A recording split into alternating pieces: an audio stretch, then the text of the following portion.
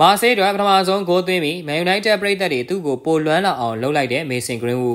မေဆင်ဂရင်းဝူဟာနှစ်ဦးနှစ်ဖက်ကောင်းကျိုးအတွက်ဒီနေရာဒီအတွင်းအိုထရက်ဖို့ကိုစွန့်ခွာပြီးပြင်သစ်လီဂူကလပ်မာဆေးအသင်းထံပေါင်26တန်းနဲ့ပြောင်းရွှေ့သွားခဲ့ပါတယ်။ဒါဟာမန်ယူနိုက်တက်သမိုင်းတစ်လျှောက်အမြင့်မားဆုံးပြောင်းရွှေ့ခြင်းကစားသမားရောင်းချမှုတွေထဲမှာတော့ပါဝင်နေပါတယ်။ ဂရင်းဝါမကြသေးမီကကစားခဲ့တဲ့ရာသီကြိုခြေစမ်းပွဲမှာသူ့ရဲ့အသင်းအသင်းတွေပထမဆုံးပါဝင်ကစားခွင့်ရခဲ့ပြီး45မိနစ်အတွင်းဘာမှထူးထူးခြားခြားလုပ်ပြနိုင်စွမ်းမရှိခဲ့ပါဘူး။ဒါပေမဲ့ဒုတိယမြောက်ပွဲစဉ်မှာတော့အသက်22နှစ်အရွယ်တောင်ပန်ကစားသမားဟာသူ့ရဲ့အရေးချင်းစစ်မှန်ကိုထုတ်ဖော်ပြသနိုင်ခဲ့ပါတယ်။ဂရင်းဝါစနေနေ့ညတုန်းကပါဦး FC နဲ့ပွဲစဉ်မှာသူ့ရဲ့မာဆေးကစားသမားဘဝပထမဆုံးဂိုးကိုသွင်းယူနိုင်ခဲ့ပါတယ်။ ရိုဘတ်တိုဒီဆာဗီရဲ့အသင်းဟာသုံးဂိုးဂိုးမရှိနဲ့နိုင်ရရှိခဲ့တဲ့ပွဲစဉ်မှာဂရင်းဝူကအသင်းပေါ်ရဲ့ကန်သွင်းမှုကိုပြိုင်ဘက်ကုသမားကပုတ်ထုတ်လိုက်ချိန်ပြန်ရှန်ထွက်လာတဲ့အလုံးကိုပိတ်သွင်းယူခဲ့တာဖြစ်ပါတယ်။ဒါပေမဲ့လွယ်လွယ်ကူကူပိတ်သွင်းယုံပဲမဟုတ်ခဲ့ပါဘူး။ဂရင်းဝူဟာသူ့ရဲ့ဘဲချင်နဲ့ပြန်ဘက်နောက်ခံလူ9ဦးလောက်ကိုကြော်ဖြတ်ခဲ့ရသေးပြီးဂိုးရဲ့ဘဲဘက်ထောက်ကိုမြှောက်ချကန်သွင်းယူခဲ့တာဖြစ်ပါတယ်။ပြန်မဲ့နောက်ကလူတယောက်ဆိုရင်လည်း Green Wood ရဲ့လိန်ခေါမှုကြောင့်မြက်ခင်းမော်ပုံလျက်သားလဲကျသွားခဲ့တာကိုတွေ့ရပါတယ်